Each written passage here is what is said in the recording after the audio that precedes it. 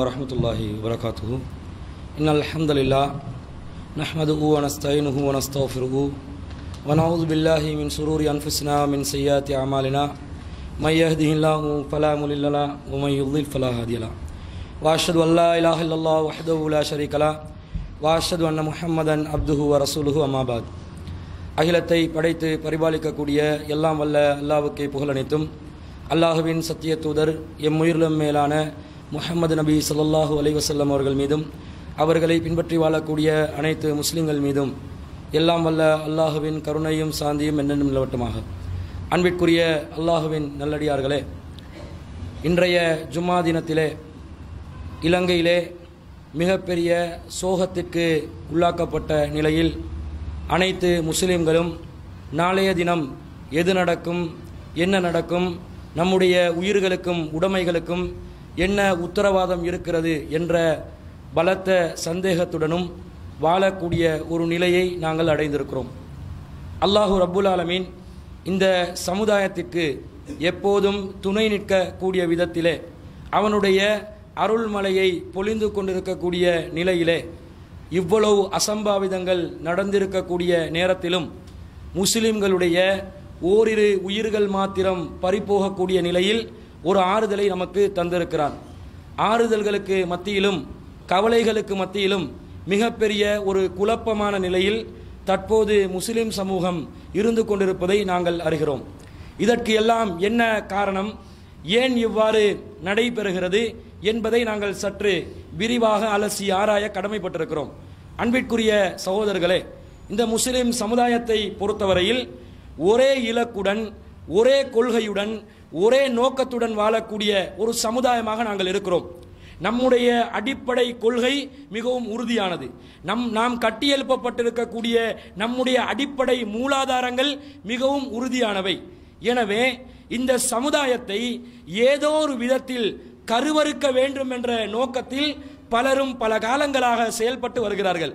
இலங்கையிலே ஆயிரம் வருடங்களுக்கு மேலாக ஒரு மிகப்பெரிய சுமூகமான ஒரு சகவாழ்வு மிக்க ஒரு வரலாற்றுக்கு சொந்தக்காரர்களாக முஸ்லிம்கள் இருந்து கொண்டு இருக்கிறோம் ஆனால் நம்மை பார்த்து எல்லா சந்தர்ப்பங்களிலும் இவர்கள் இந்த நாட்டுக்கு ஆபத்தானவர்கள். இவர்களை இந்த நாட்டிலே நாங்கள் தொடர்ந்து நிம்மதியாக வாழவிட்டால் இந்த நாட்டை கைப்பற்றி விடுவார்கள். இந்த நாட்டில் பெரும்பான்மை மக்களுடைய அவர்கள் மீது ஆதிக்கம் செலுத்தக்கூடிய விதத்திலும் பெரும்பான்மை மக்களுடைய நிம்மதிக்கும் சுதந்திரத்துக்கும் இவர்கள் தடையாக இருப்பார்கள் என்று அவசியமற்ற ஒரு சந்தேகத்தை ஒரு சாரார் எழுப்பிக் கொண்டே வருகிறார்கள். ஆயிரத்தி தொள்ளாயிரத்தி பதினைந்தாம் ஆண்டுகளில் கம்பளை கலவரத்தில் ஆரம்பமான இந்த முஸ்லிம்களுக்கு எதிரான தாக்குதல்கள் இதுவரைக்கும் தொடர்ச்சியாக நடைபெற்று கொண்டுதான் இருக்கிறது. இரண்டாயிரத்தி ஓராம் ஆண்டிலே மாவனல்லையில் எங்களை அழைத்தார்கள். முப்பது கோடி ரூபாக்களுக்கு மேலாக முஸ்லிம்களுடைய சொத்துக்களை அபகரித்தார்கள். இதே போன்று பலவிதமான அசம்பாவிதங்கள் காலத்துக்கு காலம் மேற்கொண்டாலும் இது இது போன்று ஒரு மிகப்பெரிய நஷ்டத்தை ஏற்படுத்தக்கூடிய ஒரு அசம்பாவிதத்தை இரண்டாயிரத்தி பதினாலாம் ஆண்டு அலுத்கமையிலே தர்கா டவுனிலே பேருவலை பகுதியிலே ஏற்படுத்தினார்கள். முஸ்லிம்களுடைய பொருளாதாரத்தை சூறையாடுகிறார்கள் தீ வைத்து எரிக்கிறார்கள். இந்த நிலை தொடர்ச்சியாக கின்தொட்டையில் இரண்டாயிரத்தி பதினேழாம் ஆண்டு ஏற்படுத்தினார்கள். என்ன காரணம்? ஏன் இப்ப இவ்வாறு ஏற்படுகிறது என்று கேட்டால் அதற்கு முஸ்லிம்களில் யாராவது ஒரு சாராரை பின்னணியில் வைப்பார்கள். இன்னாருடைய பேச்சினால் இந்த ஆபத்து வந்தது. இன்னாருடைய நடவடிக்கையினால் இந்த ஆபத்து நிகழ்ந்தது.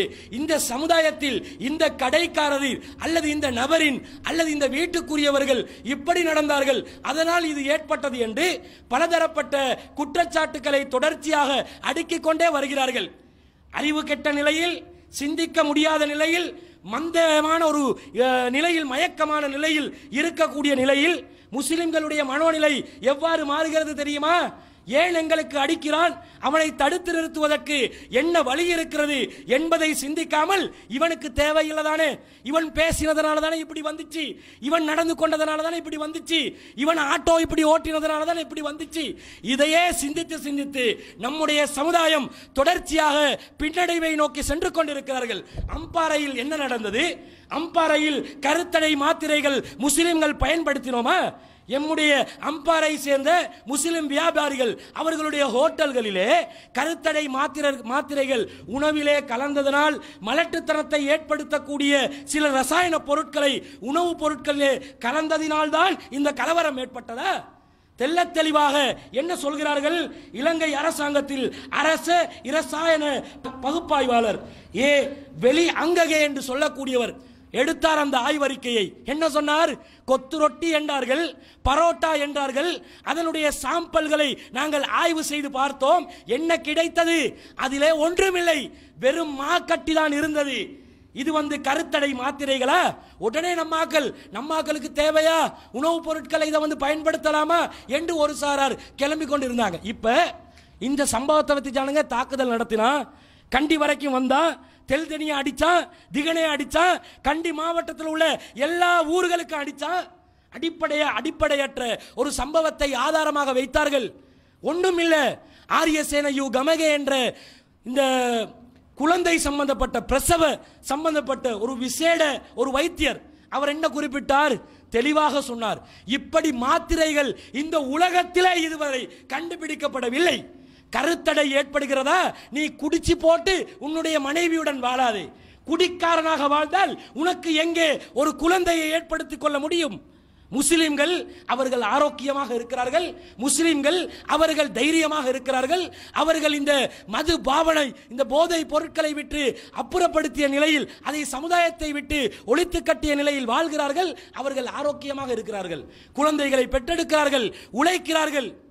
இந்த நிலையில் முஸ்லிம் சமுதாயம் இருந்து நீ வந்து உன்னுடைய மலட்டுத்தன்மையை நீயா ஏற்படுத்திக் கொண்டு முஸ்லிம்கள் மீது நீ அபாண்டமாக பழி சுமத்தினால் அதற்கு முஸ்லிம் சமுதாயம் பலியாக முடியாது. பல மருத்துவ அறிஞர்கள் சொல்கிறார்கள் மருத்துவ ஆய்வாளர்கள் சொல்கிறார்கள் இது போன்ற ஒரு நிலை இல்லை. இதை வச்சு தான் அடித்தான் திகனைக்கு வந்தான். அடிக்கிறான். இருபத்தி ரெண்டாம் திகதியிலிருந்து இந்த பிரச்சனைகள் ஊடுருவி கொண்டு வருது. இதுவரைக்கும் இருபத்தி ஆறு பள்ளிவாசல்கள் இருபத்தி அஞ்சு என்று தான் அறிக்கை வெளியிட்டாங்க. கெக்கிராவ பகுதியில் ஒரு பள்ளிவாசல் சிறிய அளவிலோ பெரிய அளவிலோ தாக்கப்பட்டு இருக்கிறது ஏன் பள்ளிவாசலுக்கு அடிச்சிங்க? அம்பாறையில் ஹோட்டல்காரன் தான் பிரச்சனைடா அவனை தூக்கி போலீஸுக்கு கொடுக்க வேண்டியதானே அப்படி ஒன்று இல்லை. இருந்தாலும் கொடுத்துற வேண்டியதானே அதுக்கு சட்ட நடவடிக்கை எடுக்க வேண்டியதுதானே? நீ ஏன் இங்கே வர காட்டில் இருக்கிறாய் ஏன் அம்பாறையில் ஐநூறு மீட்டருக்கு தொலைவில் இருக்கக்கூடிய முஸ்லீம் பள்ளிவாசலை நீ தாக்குகிறாய்? இவங்க ஒரு ஜனாசா அவங்க முஸ்லீம் அல்லாத ஒருத்தனுடைய ஒரு பிரேத உடலை அடக்கிட்டு அந்த வீட்டில் அவங்க பேச்சுவார்த்தை நடத்திட்டு தான் வந்து இதை தாக்குறாங்க. திட்டமிட்டு அடிக்கிறான். முஸ்லீம்கள் காரணம் இல்லை. முஸ்லீம்களை காரணமாக்குவான். நம்மவங்க நல்ல சிந்தனையுடன் எது காரணமாக்குறாங்களோ அது சரியா பிழையான்றதை யோசித்து முடிவெடுக்க வேண்டும். அடுத்ததாக என்ன செய்கிறான் ஒரு ஆக்சிடென்ட் நடந்துச்சான் சரி ஆக்சிடென்ட் நடந்துச்சு. அது ஓவர்டேக் பண்ண பார்த்தான். சரி முடியலை. சரி ரிவர்ஸ் பண்ண பார்த்தான். கண்ணாடி உடஞ்சிருச்சு. காசு பரிமாற்றம் பற்றி பேசிக்கொள்கிறாங்க வாக்குவாதம் நடக்குது. நம்மவங்க அடிச்சேன்னு சொல்கிறான் ஒரு சாரார் சொல்றான் நம்மவங்க அடித்தான் தான். அடிச்சு தான் ஹாஸ்பிட்டலில் அவனை கொண்டு போயிட்டு அட்மிட் பண்ணது. அதனால தான் அவன் செத்து போனான்னு சொல்கிறான் இப்படியே வைத்து கொண்டாலும் அதில் என்ன செய்யணும் நீங்கள் அடித்தவனை கைது செய்யணும். அடித்தவனுக்கு எதிராக சட்ட நடவடிக்கை எடுக்கணும். அவனுக்கு அவன் இந்த அடித்ததனால் காயப்படுத்தினதால் தான் உயிரிழப்பு ஏற்பட்டது என்று சொன்னால் அதற்கு மரண தண்டனையை கொடு. நீ எப்படி அதை காரணமாக வைத்து இத்தனைய முஸ்லிம் கிராமங்களை அழிப்பாய்? இத்தனை முஸ்லிம் பள்ளிவாசல்களை அழிப்பாய்? இத்தனை முஸ்லிம்களுடைய உடைமைகளை நீ சேதப்படுத்துவாய்? அதற்கு என்ன அதிகாரம் இருக்கிறது? அவன் முஸ்லீம் அல்லாதவனை கொலை செஞ்சது சட்டத்தை கையில் எடுத்தான் அதனால் அடித்தான் அதனால் கொலை செஞ்சான் இவனை வந்து நாங்கள் பழி வாங்கணும் நீ நினைச்சா நீ முஸ்லிம்கள் எல்லாத்தையும் சேர்ந்து அடிக்கிறியே நீ சட்டத்தை கையில் எடுக்கலையா? இது சரியா? அதுலேயும் கூட நடந்தது என்ன தெரியுமா?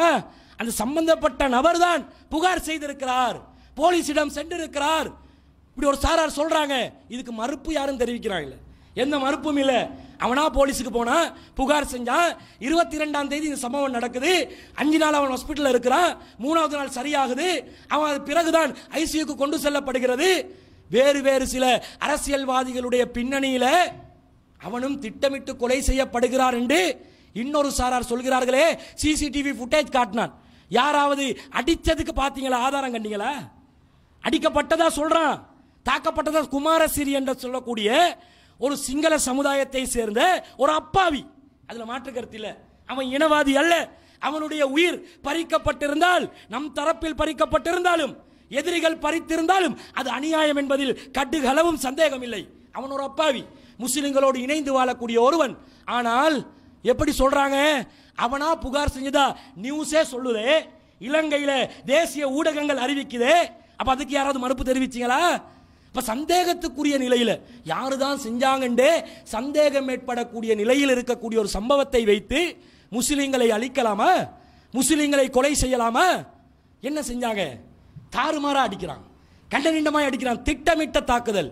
இதுக்கு யாருமே சாதாரணமாக இது உருவாகியது என்று சொல்லக்கூடாது. சொல்லவும் முடியாது. இதற்கு சரியாக ஒரு வருடத்திற்கு முன்பதாக யார்? எந்த நபர்? இந்த விஷயத்திலே கடும் சூத்திரதாரி என்று திட்டமிட்ட நபர் என்று கைது செய்யப்பட்டிருக்கிறாரோ? அந்த அமித் வீரசிங் என்று சொல்லக்கூடிய அந்த இனவாதி தெளிவாக ஒரு வருடத்திற்கு முன்பதாக நாங்கள் கண்டி பகுதியை தாக்குவோம். வாக்குமூலம் கொடுத்தானா இல்லையா? அம்பாறை வியாபாரிகள் எங்களுக்கு உதவி செய்வதற்கு தயங்குகிறார்கள். ஒரு இருநூறு பேக்கெட் சோறு பார்சல் எடுக்கிறதுக்கு காலை பிடிக்க வேண்டி இருக்குது. இவங்க இவங்களை வச்சு எப்படி செய்யறது? சரி ஏதோ ஒரு விதத்தில் இப்போ சாப்பாடை ஏற்பாடு செஞ்சிட்டோம்.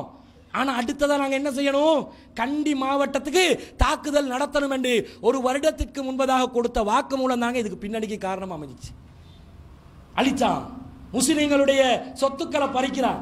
அதில் அப்பாவித்தனமாக உயிரிழந்த ஒரு இளைஞன் தான் அந்த திகன பகுதியைச் சேர்ந்த அப்துல் பாசித் என்று சொல்லக்கூடிய அந்த இளைஞன். இருபத்தோரு வயசு. அவன் என்ன குத்தம் செஞ்சான்? அவன் என்ன தவறு செஞ்சான்?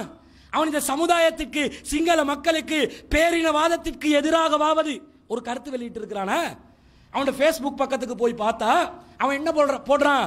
ஒன் நேஷன் ஒன் டீம் அவன் கிரிக்கெட் பிரியன் ஒருவர். என்ன போடுறான்? நாங்கள் ஒரு சமுதாயம். நாங்கள் ஒரு ஒரு இனத்தைச் சேர்ந்த ஒரு கூட்டம்.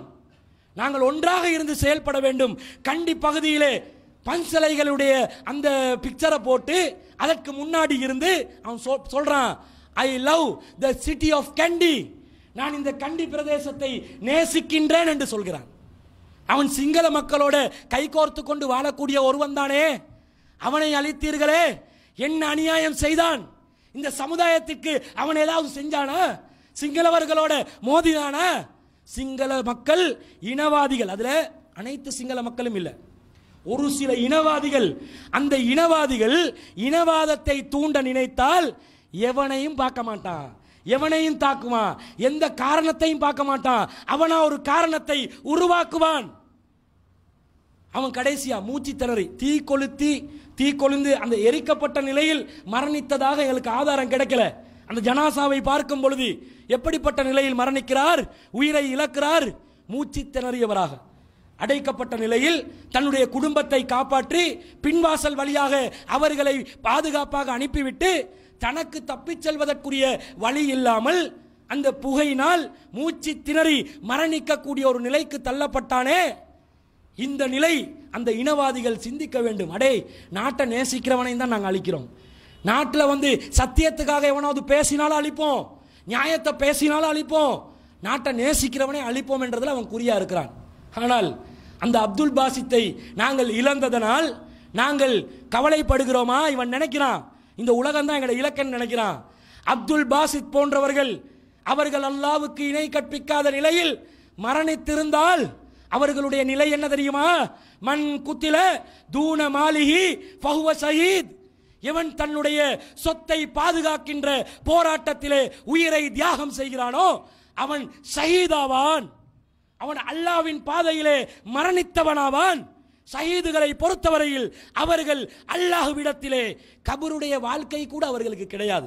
நேரடியாக அல்லாஹ்வுடைய அரியாசனத்திற்கு கீழே விளக்குகளால் தொங்கவிட விளக்குகளை போன்று தொங்கவிடப்பட்ட நிலையில் பகல் காலங்களில் சுவனத்தில் பறவை வடிவத்திலே உலா வரக்கூடிய நிலையில் அவர்கள் உயிர் வாழ்ந்து கொண்டிருக்கிறார்கள். அந்த அப்துல் பாசித்தை நாங்கள் இழந்திருக்கிறோம். மண் குத்தில தூண அஹ்லிஹி ஃபவுவ சஹீத் யார் தன்னுடைய குடும்பத்தை பாதுகாப்பதற்காக உயிர் தியாகம் செய்கிறார்களோ சண்டையிடுகிறார்களோ அவர்கள் ஷஹீதுகள். எங்களை பொறுத்தவரையில் நாங்கள் ஷஹீதுகளை உருவாக்கி கொண்டிருக்கிறோம். அல்லாஹ் தாலா பலவிதமான கட்டங்களில் பல சோதனைகளை எங்களுக்கு உள்ளாக்குவான். அந்த நேரத்தில் நாங்கள் எப்படி நடக்கிறோம் என்பதை அல்லாஹ் பார்க்கிறான். அல்லாஹ் குர்ஆன்ல சொல்றான் வத்த கசீரும் மின் அகலில் கிதாப். வேதக்காரர்களில் ஒரு சாரார் இருக்கிறார்கள். லவ் யருத்தூனக்கும் மிம்பாது ஈமானிக்கும். உங்களை ஈமானுக்கு பிறகு அவர்கள் குஃபுரை நோக்கி அழைத்து கொண்டே இருப்பார்கள். அதற்காக அவர்கள் முயற்சி செய்து கொண்டிருப்பார்கள் விரும்புவார்கள். ஆனால் எதுக்காக செய்கிறாங்க ஹசதம் மின் இந்தி அன்புசியும் அவர்களுடைய அவர்களுக்கு மத்தியில் இருக்கக்கூடிய பொறாமையின் காரணமாக அவர்கள் செய்வார்கள். எங்களை குஃபுராக்க காட்டும் எங்களை அழிக்கிறத ஒழிக்க மாட்டான் அதை நிறுத்த மாட்டான். அவனுடைய காரியத்திலே அவன் உறுதியாக நின்று செயல்பட்டு கொண்டே இருப்பான். ஆனால் இந்த சமுதாயம் அழியுமா? அழியாது. சிங்கள ராவைய சிங்கள பத்திரிகை ராவை என்று சொல்லக்கூடிய ஒரு பத்திரிகையில் ஆசிரியர் விக்ட ஐவன் என்று சொல்லக்கூடிய ஒருவர் பிரபலமான ஒரு ஊடகவியலாளர் அவன் என்ன சொல்றான் தெரியுமா? சொல்கிறார் தமிழர்கள் ஈழம் கிடைக்கும் வரை போராடுவார்கள். முஸ்லிம்களை பொறுத்தவரையில் அவர்கள் சுவனம் கிடைக்கும் வரை போராடுவார்கள். எங்களுடைய போராட்டம் ஒரு தேசமா? ஒரு நாடா? ஒரு எல்லையா? எங்களுடைய இலக்கு சுவனம். அப்ப நாங்க கிளம்பிட்டோம் என்றா அது கடும் விபரீதமாக ஆகிவிடும் என்று மறைமுகமாக சொல்கிறார். அந்த நிலையில நாங்கள் முஸ்லிம் சமுதாயம் இருக்கிறோம் என்பதை முஸ்லிம் அல்லாதவர்கள் உணர்ந்து கொண்டிருக்கிறார்கள். ஆனால் நாங்கள் என்ன செய்கிறோம் தெரியுமா? நம்ம ஆக்கள் எந்த நிலையில் இருக்கிறாங்கன்னு சொன்னால் எந்த நேரமும் எங்களை பாதுகாத்து கொள்ளணும். எங்களுக்கு அடிப்படக்கூடாது எங்களுக்கு பிரச்சனை வரக்கூடாது. எங்களுக்கு சட்ட சிக்கல் வரக்கூடாது. நாங்கள் துவாவோடு இருப்போம். நாங்கள் பொறுமையாக இருப்போம். இதாண்டா உன் தலையெழுத்து. இப்படியே இருந்துட்டு போ. இந்த முஸ்லிம் சமுதாயத்தை தலைமை தாங்குபவர்கள் செய்கின்ற தவறு தாங்க இவ்வளவு பிரச்சனைக்கு காரணமாக இருக்குது. எஸ்டிஎஃப் போட்டு அடிக்கிறான். எஸ்டிஎஃப் முன்னிலையில் அடிக்கிறான். ஒரு சிங்கள சகோதரன் ஒரு முஸ்லிமை பார்த்து அவர் பேமெண்ட்ல உட்கார்ந்து கொண்டிருக்கிறார். டேய் நேற்றைய தினம் எப்படி வாழ்ந்தாய்? ஒரு நாளில் பேமெண்ட்டுக்கு வந்தியா இல்லையா? இதாண்டா உங்க தலையெழுத்து. உங்க எல்லாத்துக்கும் இதாண்டா கதி சொல்கிறான். பக்கத்தில் எஸ்டிஎஃப் இருந்து கொண்டு சிரிக்கிறான். என்னடா பாதுகாக்கிறீங்க? ராணுவம் என்றா நீங்கள் சிங்கள சமுதாயத்தை மட்டும் பாதுகாக்கிற ராணுவமா? போலீஸ் போலீஸ்ண்டா சிங்கள மக்களை மட்டும் பாதுகாக்கிற போலீஸா? ஏன் நாங்க வரி கட்டலையா? இன்னும் சொல்ல போனால் இந்த நாட்டிலே அதிகமாக வரி கட்டக்கூடியவர்கள் முஸ்லிம்கள். சதவீதத்தில் எடுத்து பார்த்தா அதிகமான சதவீதம் நாங்கள் தான் வரி கட்டுறோம். அரசு உத்தியோகத்தில் இருக்கக்கூடியவனுக்கு சம்பளம் இந்த முஸ்லிம்களுடைய வரியில தான் அதிகமாக கொடுக்கப்படுகிறது. அதை நினைக்காம எங்களை பாதுகாக்காம நீ பாட்டுக்கு இருப்பி அவன் போறானா. அங்க அந்த அந்த சைட்ல போங்க இந்த சைட்ல போங்க. வானத்துக்கு ஷூட் பண்ணிட்டு அந்த இனவாதிகள் ஒரு இடத்த காலி பண்ணி போக்காட்டிலும் பின்னாடி நின்று கொண்டு இருக்கிறான் கேட்டால் சில அதிகாரிகள் சொல்கிறார்கள் நாங்களும் வந்து வேலை தானே செய்கிறோம் எங்களுக்கும் குடும்பம் இருக்குது. அப்போ எதுக்கு யூனிஃபார்மை போட்டீங்க? எதுக்காக அதை பயன்படுத்தினீங்க? ராணுவம் இருக்கத்தக்க எஸ்டிஎஃப் இருக்கும் நிலையில் இப்படி தாக்குதல் நடந்துச்சு. ஒரு ஒரு குறைஞ்சபட்சம். நீ அவசர கால சட்டத்தையும் எடுத்து போட்டு ஊரடங்கு சட்டத்தையும் எடுத்து போட்டு முஸ்லீம்களே நீங்களே உங்களை பாதுகாத்துக் கொள்ளுங்கள் இருபத்தாறு பள்ளிவாசல் ஒரு மக்தப் மதரசாக அடிக்க விட்டு இருக்க மாட்டோம். நாங்கள் பாதுகாத்துக் கொள்வோம் எங்களோட சமுதாயத்தை. அப்போ விளையாடுறீங்களா? நிறைவேற்று அதிகாரம் இருக்கக்கூடிய ஜனாதிபதி. அவர் என்ன சொல்றாரு? அவர் வந்து சொல்றாரு நான் சொல்ற மாதிரி நடக்காட்டி இலங்கைக்கு என்ன நடக்குமோ தெரியாது. இது இப்படி பேச்சா இது? நீ ஒரு சிவில் அமைப்போட தலைவரா? நீ பேமெண்ட்லேருந்து பிக்கெட்டிங் பிக்கட்டிங் பண்ணக்கூடிய ஒருத்தனா? நிறைவேற்ற அதிகாரம் என்னவென்று தெரியாதா? ஒரு வார்த்தையில் அதை நிறுத்தலாமா இல்லையா? முப்படை தளபதிகளையும் அழைத்து உடனே நிறுத்து. எவனா இருந்தாலும் இன மத வேறுபாடு இல்லாமல் அவனுக்கு சட்ட நடவடிக்கை எடு. உடனே சொல்லியிருக்கணுமா இல்லையா? அதான்டா எல்லாரும் கேட்டோம் ரோட்ல இருந்து கேட்டோம். அவன் தப்பு கணக்கு போடுறான். முஸ்லிம்களுடைய பொருளாதாரத்தை நாங்கள் சிதைத்தால் முஸ்லிம்களுடைய உயிர்களை பறித்தால் இவர்கள் கோழைகளாகி விடுவார்கள் என்று நினைத்துக் கொண்டிருக்கிறான். இந்த தாக்குதல் சம்பவத்தில் பெரும்பாலும் முஸ்லிம்களுடைய உயிர்கள் பறிப்போவல. ஒரே ஒரு அப்துல் பாசித்தை நாங்கள் இழந்திருக்கிறோம். ஆனால் அதிலிருந்து என்ன விளங்குது இவங்களோட பொருளாதாரத்தை முடக்கி விடலாம். இவங்களோட பொருளாதாரத்தை நாங்கள் இல்லாமலாக்கி விடலாம். அதில் இவங்க கீழே போவாங்க என்று நினைக்கிறார். நடக்குமா? ஏன் முப்பது கோடி ரூபா எங்களோட பொருளாதாரத்தை நீ மாவநிலையில் பறிச்சியே மாவநிலை முஸ்லீம்கள் பிச்சை எடுத்துக்கொண்டு திரியிறாங்களா? இன்னும் அவங்க வியாபாரிகள் தான். இன்னும் அவர்கள் வர்த்தகத்துறையில் கொடிக்கட்டி பறக்கக்கூடிய நிலையில் அவர்கள் இருக்கிறார்கள். அலுத்கமையில் தர்கா டவுனில் முஸ்லீம் வியாபாரிகளுடைய சொத்தை நீ சூறையாடினா பிச்சை கேட்டாங்களா? ஒரு வருஷத்தில் தலை தூக்கிட்டான். ஒரு போலீஸ் அதிகாரியை அழைத்து நான் சொன்னேன். அவர்கள் நினைக்கிறார்கள் நமது சமுதாயம் பொருளாதாரத்திலே கீழே விழுந்து விடுவார்கள் என்று. எண்ணி இரண்டு மாதத்திற்குள்ளே அல்லாவுடைய அருளால் இந்த சமுதாயத்தை தலை நிமிர வைப்போம். இந்த சமுதாயம் இருக்கிறது. இந்த சமுதாயத்திலே பொருளாதார பலம் இருக்கிறது. அல்லாவுடைய உதவி இருக்கிறது. அப்ப என்ன நினைக்கிறீங்க? மார்க்கத்தை அழித்து விடலாம் என்று நினைக்கிறீர்களா? கொள்கையை அழித்து விடலாம் என்று நினைக்கிறீர்களா? அதுவும் ஒரு போது நடக்காது. என்ற அடிப்படை தெளிவானது. ஓரிரை கொள்கை மூட நம்பிக்கை கிடையாது. கலப்படம் கிடையாது. அலா லில்லாஹி தீனுல் ஹாலிஸ். கலப்படமற்ற இந்த மார்க்கம் அல்லாவுக்கே உரியது. அது அல்லாவுக்கே சொந்தமானது. இதில் எந்த மிக்சிங்கும் இல்லை. அதனால் இதை அழிக்க முடியாது. அல்லாஹ் சொல்கிறான் யுரீதுன ஐ யுத்ஃபியூ நூரல்லாஹி பி அஃபுவாயிம் அல்லாஹ்வுடைய ஒளியை தங்களுடைய வாய்களால் ஊதி அணைக்கலாம் என்று நினைக்கிறார்கள். ஆனா அல்லாஹ் என்ன சொல்றான் வயஅபல்லா அல்லாஹ் அதை தடுத்து நிற்கிறான் அல்லாஹ் சொல் இல்லா ஐ யுத்திம்ம நூரஹு. வலவு கரியல் காஃபிரூன். அல்லாஹ் இந்த ஒளியை தடுக்கக்கூடிய அந்த காரியத்தை அவர்கள் செய்ய நினைக்கிறார்கள். காஃபிர்கள் அவர்கள் வெறுத்த போதிலும் அல்லாஹ் அதை முழுமைப்படுத்துவான். அல்லாஹ் அந்த ஒளியை தொடர்ச்சியாக அதை ப- பிரகாசிக்க செய்து கொண்டே இருப்பான் என்று அல்லாஹ் தாலா குர்வானில் சொல்றான். இந்த மார்க்கம் மேலோங்கும். ஹுவல்லதி அர்சல ரசூலஹு பில் ஹுதா வதீனில் ஹக். அவன்தான் தனது தூதரை தூய்மையான மார்க்கத்துடன் சத்தியத்துடன் அனுப்பி வைத்திருக்கிறான். லியுலுஹிரஹு அல தீனி குல்லிஹி. அனைத்து மார்க்கங்களையும் மேலோங்கி விடச் செய்வதற்காக என்று அல்லாஹ் சொல்றான். மார்க்கத்திலே நாங்கள் கீழே போக மாட்டோம். அது கொள்கை. கொள்கையில மோதி. வாதத்துக்கு வா. இது சத்தியம் இது அசத்தியம் என்று பார்ப்போம். சமுதாய பிரச்சனையா? எங்களிடம் தவறு இருந்தால் சுட்டிக்காட்டு திருத்திக் கொள்கிறோம். ஆனால் எங்களை இப்படி அழிக்கலாமா? யுத்தம் என்றாத சொல்றீங்க? கரில்லா முறையில் அழிச்சா அது வீரமா? நீ அரசாங்கத்துக்கு அனுமதி கேட்டு முஸ்லீம்கள் ஒரு சாராரை எங்களோட யுத்தத்துக்கு அனுப்பி வைங்க. அரசாங்கம் அனுமதி கொடுத்து அரசாங்க அனுசரணையோட ஒரு மைதானத்தை ஏற்பாடு செஞ்சு இரண்டு சாராரம் இருந்து மோதி பார்ப்போமா எங்களோட மோதலுமா? நாங்கள் எப்படி ஹாலிதிபுன் வலி சொன்னாரே ஒரு படை வருவதற்கு முன்பதாக கடிதம் அனுப்புவார். நாங்கள் எங்களிடம் ஒரு சாரார் இருக்கிறார்கள். யுஹிப்பூனல் மௌத்த. இவர்கள் என்ன செய்வார்கள்? மரணத்தை நேசிப்பார்கள். அதனால் சரணடைந்து விடுகிறீர்களா? ஒரு வார்த்தை தான். நாங்கள் மரணத்தை நேசிக்கக்கூடியவர்கள். விருப்பமெண்டா சரணடை. இல்லைண்டா கன்ஃபார்மாக பிடிப்போம். இந்த தைரியம் இந்த சமுதாயத்திடம் இருக்கிறது. அதனால் மோதி பார்க்கறதுன்றது இல்லை. நாங்கள் பெரும்பான்மை சமுதாயத்தோட மோத வர இல்லை. பத்துக்கு தொண்ணூறு என்ற மோதலை நாங்கள் சொல்ல இல்லை. நாங்கள் என்ன சொல்கிறோம் டிபி ஜாயாக்களை உருவாக்கிய சமுதாயம் பதியுத்தீன் மஹமூதுகளை உருவாக்கிய சமுதாயம் அப்துல் ரஹ்மான் முதியான் சேலாவை உருவாக்கிய சமுதாயம். இந்த சமுதாயம் மம்மலே மரிக்கார்களை உருவாக்கி இருக்கிறோம் நாங்கள் சாதாரணமானவர்களா? இந்த நாட்டில் பற்றுடன் நாங்கள் செயல்பட்டிருக்கிறோம். மொழியால் தமிழ் பேசக்கூடியவர்கள் நாங்கள். ஆனால் விடுதலை புலிகளுக்கு ஆதரவு தெரிவித்தோமா?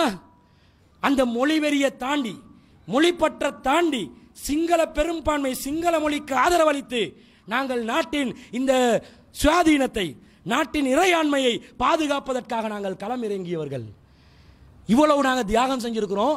எங்களை இப்படி நீங்கள் துச்சமாக மதிக்கலாமா? அன்பிற்குரியவர்களே இதை நன்றாக நாங்கள் நினைத்து நாங்கள் செயல்பட கடமைப்பட்டிருக்கிறோம். அடுத்ததா இந்த செய்திகளை ஊடகங்கள் பரப்புகிறாங்க பாருங்கள் பரப்புறதுல எப்படி பரப்புறான்? ஒழுங்காக ஒரு செய்தியை சொல்கிறியா குறிப்பாக இந்த இடத்தில் இந்த சக்தி டிவி காரனுக்கும் நியூஸ் ஃபர்ஸ்ட் இருக்கிறானே சிரசை. இவங்களுக்கு ஒரு செய்தி பதிவு செய்யணும். வித்யா யோகேஸ்வரன் வந்து படுகொலை செய்யப்பட்டு விட்டால் எத்தனை வருஷமாக சொல்கிறீங்கடா அவங்களோட டிவியில் சக்தி டிவியில் எத்தனை வருஷமாக அதை சொல்லி கொண்டு இருக்கிறீங்க எவ்வளவு நாளாக சொல்கிறீங்க வித்யா யோகேஸ்வரன் கற்பழிக்கப்பட்டு படுகொலை செய்யப்பட்டது பரிதாபத்துக்குரிய செயல்தான். வன்மையாக கண்டிக்கிறோம் கவலைப்படுகிறோம். ஆனால் இது மட்டும்தான் இந்த உலகத்தில் செய்தியா? தோட்டக்காட்டு மக்களுக்கு ஏதாவது பிரச்சனைடா சக்தி டிவி சொல்லும். தமிழ் மக்களுக்கு ஏதாவது பிரச்சனைண்டா சக்தி டிவி சொல்லும். ஏன் முஸ்லீம்களோட பிரச்சனையை பேச மாட்டீங்களா? ஊடகம் நடத்துறீங்களா? அல்லது வேற ஏதாவது நடத்துறீங்களா? என்ன சொல்றீங்க? ஒரு ஊடகமா இருந்தா பக்கச்சார்பு இல்லாமல் செய்திகளை அறிவிக்க வேண்டும். செய்தி இல்லை. எங்கேயோ கக்கூஸ்ல கால் கல்- கால் நழுவி விழுந்த ஒரு ஸ்ரீதேவியோட செய்தியை பெரிய ஒரு இன்டர்நேஷனல் செய்தி ஆக்குறீங்க. முஸ்லீம்களுக்கு இவ்வளோ அநியாயம் நடக்குது. இருநூறுக்கும் மேற்பட்ட கடைகள் கோடிக்கணக்கான சொத்துக்கள் இருபத்தாறு பள்ளிவாசல்கள் ஆயிரக்கணக்கான குடும்பங்கள் நடுத்தருவில் நிற்கிறாங்களே இன்னும் சுற்றிகரிப்பு நடக்குது? இதை அறிவிக்க மாட்டீங்களா? அறிவிக்கிறாங்களே. அப்போ இது இந்த மீடியாக்களையும் இந்த இடத்திலே நாங்கள் கடுமையாக கண்டிக்கிறோம். அடுத்ததாக இதில் நடவடிக்கை எடுக்கிறாங்களா அரசாங்கம் நடவடிக்கை எடுக்கிறாங்க. என்ன நடவடிக்கை? அரசாங்கம் அவசர கால சட்டத்தை போட்டு ஊரடங்கு சட்டத்தை போட்டு அடிக்க சொன்னதாக சொன்னாங்க. இவங்க தடுமாறுறாங்க. அரசாங்கத்துக்கு அரசாங்கம் செய்ய தெரியல. பாருங்க சட்ட ஒழுங்கு அமைச்சர் இந்த இட இந்த நேரத்தில் தான் ஸ்ட்ராங்காக இருக்கணும். ஏன்னா அவர் தானே சட்டத்தை நிலைநாட்டணும். எனக்கே இல்லாமல் நீ செய்யன்னு பதவியை மாற்றிக்கொள்கிறான் ரஞ்சித் மத்தும பண்டாரன் ஒருத்தனை போட்டிருக்கிறான். அவன் கண்டி மாவட்டத்தை சேர்ந்தவன். ஒரு பகுதியை சேர்ந்தவனை இப்போ சட்ட ஒழுங்கு அமைச்சராக போட்டால் அவன் அந்த பகுதியில் என்ன நடக்குதுன்னு பார்ப்பானா அந்த பகுதி பெரும்பான்மை மக்களுடைய ஓட்டு வந்து பறிப்போகாமல் இருக்கிறதான அவன் வழி பண்ணுவான்? பெரும்பான்மையை பாதுகாக்க நினைப்பானா இல்லையா? இப்படியா போடுறது? பிரதமர்கிட்ட கையில் சட்ட ஒழுங்கு அமைச்சு இருக்குதுன்னு பார்த்தா பிரதமர் வந்து கடினமாக வேலை செய்வாருன்னு பார்த்தா முஸ்லீம் பிரதிநிதிகள் சந்தித்து பேசுகிறாங்க இந்த பிரதமர் இந்த வரலாறில் இது போல ஒரு பிரதமரை பார்த்ததில்லை. சந்தித்து பேசும்போது ஒருத்தன் கேட்குறான் இந்த இதில் கடும் சூத்திரதாரியாக செயல்படுறானே இந்த அமித் வீரசிங்கைய கண்டியிலிருந்து கடத்த முடியாதா? பிரதமர்கிட்ட ஒருத்தர் கேட்குறார் நம்ம முஸ்லீம் பிர- பிரமுகர் ஒருவர். அவன் என்ன சொல்கிறான் தெரியுமா? அவன் மூஞ்ச பார்த்தே பேச மாட்டான் மக்கள்கிட்ட. அங்கிட்டு பார்த்து பேசுவான். அவன் சொல்கிறான் அப்படியா? இப்போ இங்கே இருக்கிற ஒன்றை கண்டிக்கு கடத்தி சர சொல்லி கண்டியில் ஒருத்தர் கேட்டால் எனக்கு செய்யலாமான்னு கேட்குறான் இவ பேசுகிற ஒன்று கண்டியிலேருந்து ஒருத்தன் ஃபோன் பண்ணுறான் உன்னை வந்து கண்டிக்கு கடத்தித்தா எண்டு கேட்டா எனக்கு வந்து உன்னைய கடத்தி கொடுக்கலுமா டேய் நான் வந்து ஆயுதம் தூக்கொண்டா இருக்கிறேன். எவன் சூத்திரதாரியாக இருக்கிறானோ அவனை எடுக்க சொன்னா கடத்த சொன்னா ஆள் வச்சு கடத்த சொல்லலை. உன்னை எஸ்டிஎஃப் வச்சு கட கடத்திக்கோ. கைது செய். இதான் முஸ்லீம்களுடைய கோரிக்கை. செய்யலை. கடைசியாக நடவடிக்கை எடுத்தாங்களாம். பத்து பேரை பிடிச்சாச்சு. முஸ்லீம்கள் கொஞ்சம் நிம்மதி ஓரளவுக்கு ஆறுதல் அடைஞ்சு இருக்கிறோம். இந்த நேரத்தில் இப்பையும் அடிக்கிறான் சில இடங்களில் இப்பையும் தாக்குதல் நடக்குது. சில இடங்களை திட்டமிடுறாங்க. இந்த நிலையில் பத்து பேரை பிடிச்சாங்க தானே? இவங்களை எந்த சட்டத்துக்கு கீழே போடுறாங்கன்னு பார்ப்போம் நாங்கள் ரெண்டு சட்டம் இருக்குது இலங்கையில். தீவிரவாதம் சம்பந்தப்பட் சம்பந்தப்படுத்தப்பட்ட இரண்டு விதமான சட்டங்கள். ஒன்று PTA prevention of terrorism act அது இப்போது தடுத்து நிறுத்தப்பட்ட ஒரு சட்டம். அமுல்ல இல்லை. அமுலுக்கு கொண்டு வாய்ப்பா. தேவைதானே? முஸ்லீம்கள் வந்து இப்போ அடிபடுறோம். தீவிரவாதிகள் இயங்குறாங்க. தாக்குதலுக்கு உள்ளாகிறோம். இந்த பிடிஏ என்ற சட்டத்தை கொண்டு வந்து அமுல்படுத்தி என்ன செய்? இந்த எவ்- அனைவரையும் தீவிரவாதிகள் என்ற பட்டியலில் நீ கோர்ட்ஸுக்கு வந்து ஆஜராக்கு. குறைஞ்சபட்சம் ஐசிசிஆர்பி ஒரு சட்டம் இருக்குது. தொவி ஜமாத் ஏதாவது செஞ்சு ஐசிசிஆர்பியை தூக்கொண்டு வருவாங்க புஸ்தத்தையே அடி இவ்வளோ அடிச்சா அநியாயம் பண்ணுறான் ஐசிசிஆர்பியை இப்போ எடுத்து உள்ளுக்கு போடுவியா இல்லையா? பார்ப்போம் பத்து பேரை போடு. யார் இருந்தாலும் பரவாயில்ல. போடு உள்ள. ஐசிசிஆர்பியில் போட்டால் அவனுக்கு பிணை எடுப்பதற்கே குறைஞ்சது ஒரு வருஷம் போகும். அப்படி போட்டு பிணை கொடுக்கக்கூடாது இந்த தூண்டுதல் இனவாதத்தை தூண்டி இந்த தீவிரவாத நடவடிக்கையில் ஈடுபட்ட இவங்களை மரண தண்டனை கைதிகளாக நீ ஆக்குவியா? அவங்களுக்கு நீ தூக்கு தண்டனை கொடுப்பியா? அப்போ பத்து பேர் கிளம்புறதுக்கு பயப்படுவான். இதை விட்டுட்டு நீ என்ன செய்யக்கூடாது? ஆ எல்லாரும் அவங்களுக்கு பிரச்சனை வரக்கூடாது. என்ன செய்கிறான் அவங்க அங்கே அடிக்கிறான். அடிக்கிறவனை தடுக்கிறான் இல்லை. ஊரடங்கு சட்டம் என்றான். அவசர கால சட்டம் என்றான். இங்கே நாங்கள் ஆர்ப்பாட்டம் செய்ய போனால் அவசர கால சட்டம் ஊரடங்கு சட்டம். நம்ம ஆக்கள் பாருங்க. அவன் தான் சொல்கிறான் மூளை கெட்டு. நம்மவங்க வந்து சொல்கிறான் நீங்கள் வந்து இது செஞ்சதுனால செய்- இப்படி செய்கிறதுனால கொழும்புல ஏனைய பகுதிகளில் அடித்தா அப்போ கொழும்புலையும் அடி வாங்குறதுக்கு தான் தயாராக இருக்கிறான். இப்படி இருக்கலாமா? கொழும்புல நீ அடி வாங்குவியா? டேய் இந்த தைரியம் தானே இருக்குது. கிழக்கு மாகாணம் என்பது முஸ்லீம்கள் பெரும்பான்மையாக இருக்கக்கூடிய ஒரு மாகாணம். அங்கே யாரும் நுழைய முடியாது. அது தனி இடம் முஸ்லீம்கள்ட. இங்கே கொழும்பு. நாங்கள் எப்படி இருக்கிறோம்? சிங்கள மக்களோட சரிக்கு சமம். ஆனால் ஆதிக்கம் யார்கிட்ட கையில் இருக்குது? முஸ்லீம்கள்ட கையில் இருக்குது. இந்த ஆதிக்கத்தை சரிக்கு சமமாக ஆதிக்கத்தில் நாங்கள் மேலோங்கியவர்களாக நிற்கக்கூடிய சமுதாயத்துக்கு அடிச்சாண்டு வைங்க. ஒவ்வொரு முஸ்லீம் வீட்டுக்குள்ளே பூந்து அடிப்பான். இங்கே உள்ளவனை அடிக்கிறான்டா தடுத்து நிறுத்துவோண்டா ரோட்டில் நிற்போண்டா கலையாமல் இருப்போண்டான்னு கூப்பிட்டா இவன் சொல்கிறான் பள்ளிவாசல் அறுத்தால் அறிவிச்சிருக்கிறாங்க. அறுத்தால்ன்றது நம்ம ஜமாத்துடைய வட்டாரத்துக்குள்ள நாங்கள் ஆதரிக்கக்கூடிய ஒரு செயல் அல்ல. என்றாலும் ஏதாவது ஒரு எதிர்ப்பு தெரிவிக்கணும்னு நினைக்கிறான். செஞ்சுட்டு போட்டும். உடனே உலமா சபை உட்காந்து அந்த அறுத்தால் ஆர்கனைஸ் பண்ணுறவருக்கு ஃபோன் பண்ணி அறுத்தாலை வாபஸ் வாங்குவீர்களா? டேய் அறுத்தால வாபஸ் வாங்க சொன்ன நீ அந்த இனவாதிகளை வாபஸ் வாங்க சொல்லி நீ அழுத்தம் தெரிவிச்சியா? ஆ நாங்கள் ஃபோன் பண்ணோம். ஐஜிபிக்கு சொன்னோம். இந்த வெள்ளை நிறத்தில் இருக்கக்கூடிய சீருடை அதில் கொஞ்சமும் ஊத்தப்படக்கூடாதாம் அழுக்குப்படக்கூடாது. நாங்கள் களத்துக்கு வரமாட்டோம். பேமெண்ட்டில் உட்கார மாட்டோம். முஸ்லீம்கள் கொலை செய்யப்படுகிறார்கள். முஸ்லீம் பெண்கள் அழுகிறார்கள். முஸ்லீம் பெண்கள் கற்பழிக்கப்படுகிறார்கள். பரவாயில்லை.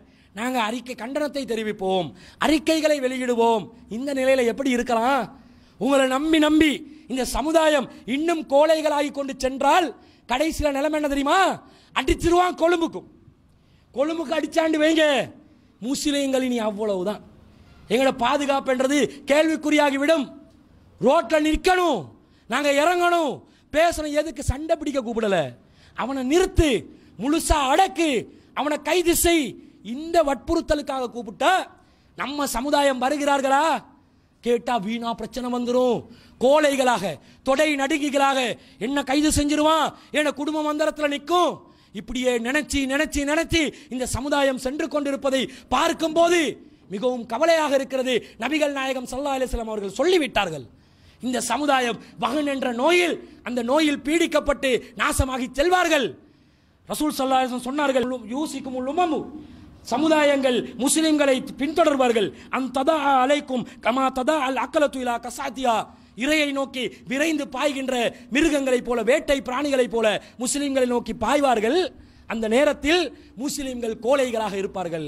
முஸ்லிம்கள் செறிந்து வாழ்வார்கள் பிளவுபட்டு கிடப்பார்கள். அவர்களுடைய உள்ளத்திலே வகன் என்ற நோய் இருக்கும். இந்த நோய் இருக்கும் காலமெல்லாம் முஸ்லிம்கள் முன்னேற மாட்டாங்க. வகன் என்ற நோய் என்ன? ஹுப்பு துனியா வக்கரா ஐயத்துல் மவுத்.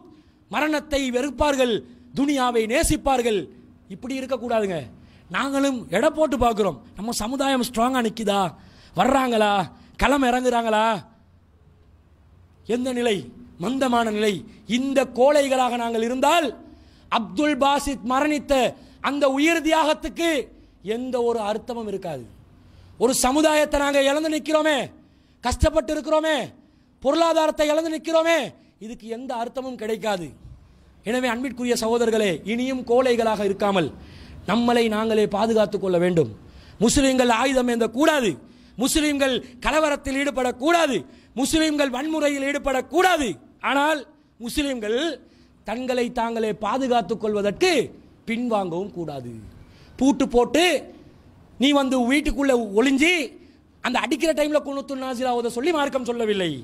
நீ களத்தில் நிற்கணும் அந்த டைமில் கேட்கணும் ரப்பனா இறைவா எசப்பித் அக்குதாமனா நம்முடைய பாதங்களை உறுதிப்படுத்து வன் சுர்னா அலல் கவுமில் காஃபிரீன். இறைவனை நிராகரிக்கக்கூடிய இந்த சமுதாயத்திற்கு எதிராக எங்களுக்கு நீ உதவி செய் என்று அல்லாஹ் கிட்ட துவா கேட்டு பாதங்களை உறுதிப்படுத்த சொல்லி உறுதியாக நிற்கணும் நடுங்கக்கூடாது. கட கட கட கடன்னு நடுங்கினா நீ முஸ்லீமா பிறந்ததுக்கே அர்த்தம் இல்லை.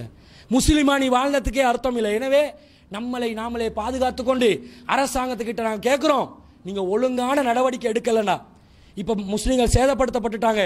அந்த நஷ்ட ஈடு என்ற பேரில் அலுத்கமலை கொடுத்த மாதிரி ரெண்டு லட்சம் ரெண்டு லட்சத்தி ஐம்பதாயிரம் மட்டும் வந்துடக்கூடாது. எங்கட சமுதாயத்துக்கு நாங்கள் உதவி செய்வோம். எங்கட சமுதாயத்தை நாங்கள் கட்டி எழுப்புவோம். ஆனால் அந்த சமுதாயத்தில் பாதிக்கப்பட்ட கண்டிமா கண்டிவால் முஸ்லீம்கள் அனைவருக்கும் அரசாங்கத்தில் காசாலே தான் நீ நஷ்ட ஈடு கொடுக்கணும். முஸ்லீம்கள்கிட்ட கேட்டு கேட்டு கொடுக்கக்கூடாது அழிச்சவன் நீதானே. நீதானே துணை புரிஞ்சாய். நீதானே சரியான நடவடிக்கை எடுக்கலை. நீனே காசு செலவழிக்கணும். நீயே அவங்களுக்கு நஷ்ட ஈடு கொடுக்கணும். நீயே அவர்களை பாதுகாக்கணும் இனிமேல். முஸ்லீம்கள் நாங்கள் எங்கட சமுதாயத்துக்கு செய்கிற வேலையை நாங்கள் வேறையாக செய்வோம். இன்சா அல்லா அதை அரசாங்கத்துக்கிட்ட கேட்குறோம். இதை செய்யவில்லை என்றால் இன்ஷால்லா அடுத்தடுத்த கட்டங்களை ஜமாத் தீர்மானித்து அதற்கெதிரான எங்களுடைய போராட்டங்கள் என்னவென்பதை நாங்கள் இன்ஷா அல்லா அறிவிக்க இருக்கிறோம். அந்த நிலைமையை கவனத்தில் கொண்டு ஜமாத் நிர்வாகம் நாங்கள் அதை முடிவு செய்வோம் என்ற நிலையில் இப்போது இருக்கிறது. எனவே நம் சமுதாயத்தை பாதுகாக்கக்கூடிய அந்த பணி நம்முடைய கையில் தான் இருக்கிறது. வெளியில் உள்ளவர்கள் யாரெல்லாம் இருக்கிறார்களோ பேசுவார்கள் அனைவரும் இறைவனை நிராகரிக்கக்கூடியவர்கள் என்பதனால் அல்லாவுடைய உதவியை எதிர்பார்த்தவர்களாக இந்த சமுதாயத்தை தொடர்ச்சியாக பாதுகாக்கக்கூடியவர்களாக நாங்கள் ஆக வேண்டும். அல்லாஹ் ரபுல் ஆலமீன் அதற்கு நமக்கு நல்ல வாய்ப்பை தந்தருள் புரிவான்